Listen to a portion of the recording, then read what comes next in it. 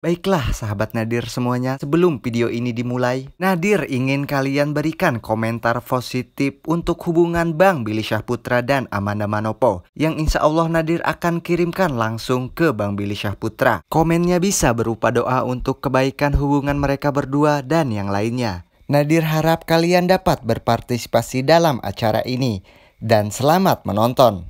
Amanda Manopo pernah mengungkapkan hal yang paling ia takuti di dalam kehidupan. Artis berusia 20 tahun itu menyampaikan saat menanyakan hal yang Billy Syahputra takuti. Kalau aku jawabannya aku paling takut kesepian dan tanpa kusadari aku sudah mengalami itu, kata Amanda. Aku pernah ngomong sama dia apa yang paling kamu takutin di kehidupan ini. Kalau aku jawabnya, Ada apa?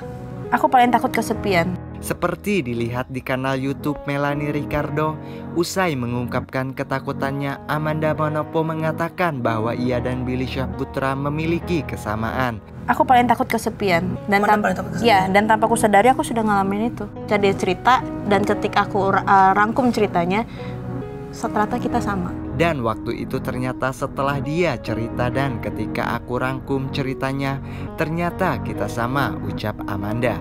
Aku nggak bisa nggak punya pacar, timpal Billy. Gue nggak bisa nggak punya pacar. Dia abang juga ya bang. Makanya lu dari satu lompat ke satu lompat. Gak pernah abang sendirian. Ya, Billy memang kerap gonta-ganti pasangan.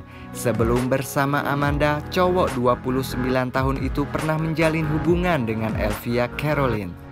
Amanda tidak mempermasalahkan mengenai Billy yang kerap gonta-ganti pasangan. Kenapa pasangannya dia banyak? Aku juga nggak masalah karena menurut aku ya kita hidup itu saling berpasangan. Kenapa pasangan dia banyak? Aku juga nggak masalah karena menurut aku kita hidup itu saling berpasangan.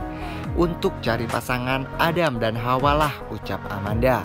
Menurut pemain sinetron Mermaid in Love itu, Billy kerap gonta-ganti pasangan karena berusaha untuk mencari yang terbaik. Dan dia mencari mencari yang terbaik buat dia. Kalau misalkan aku bukan yang terbaik ya udah mau gimana? Amanda menyadari kisah cinta mereka juga bisa berakhir apabila Billy merasa dirinya bukanlah sosok yang tepat.